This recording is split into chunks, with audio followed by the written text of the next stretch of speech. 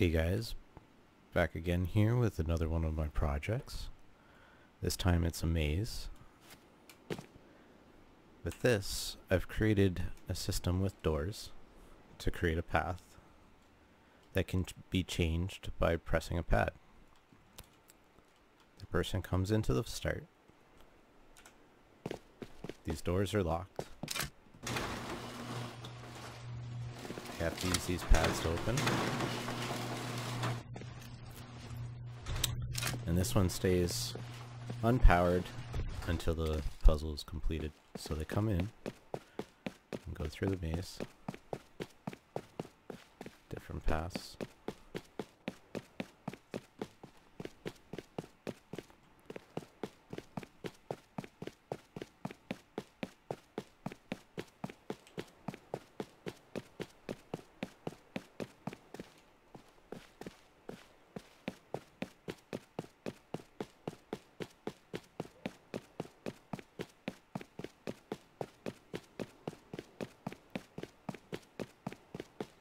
And these are all set up with door controllers and there's wiring underneath here to two different circuits. One tells it to stay open, one tells it to stay closed depending on the actual circuit itself.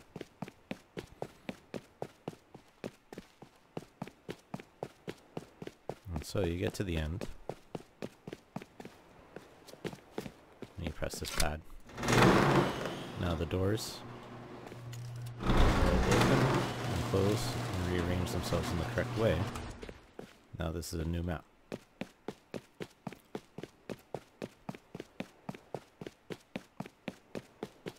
And then you have to find the next spot.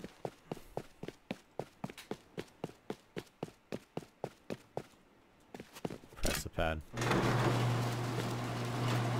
circuit changes again.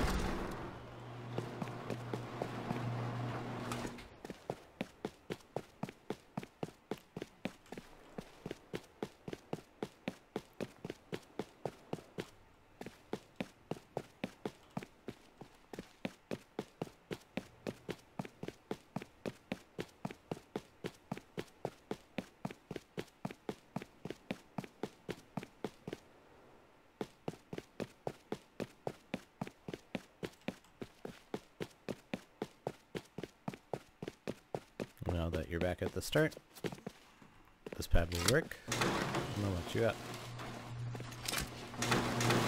And this one here actually resets the course. Resets these triggers. So this can be hap uh, can be opened again because uh, when you're in there, this pad here uh, breaks and the next one in there too as well. So you can't even have another person come and join you. I'll show you a top view. I'll show you the circuits underneath here. So basically there's two circuits that run. There's this outer one and an inner one here. And that's all based on this memory controller. I was going to have two, but having these in here, uh, the lag is great because it does this animation where they're broken. It is too much. So you can see in this one, this one's powered off the first circuit right now. And what that would do is have the door open.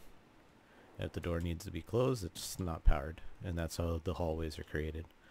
So depending on how these are hooked up, that depends on if the doors are open or closed for that maze.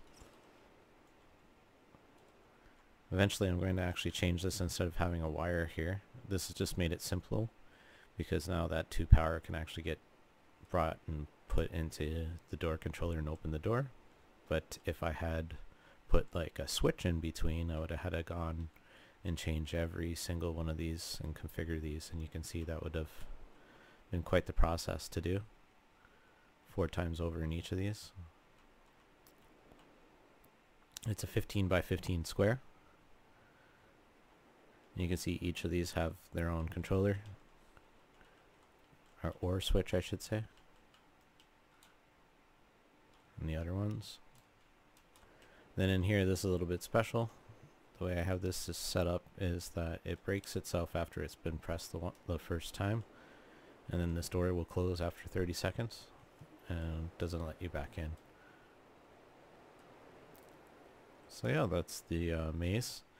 And I built it in a way that uh, it can be configured so if somebody gets used to one of the maps, the, the puzzles, this can all be just changed to make it new. Anyways, thanks for watching. Appreciate it. Take care.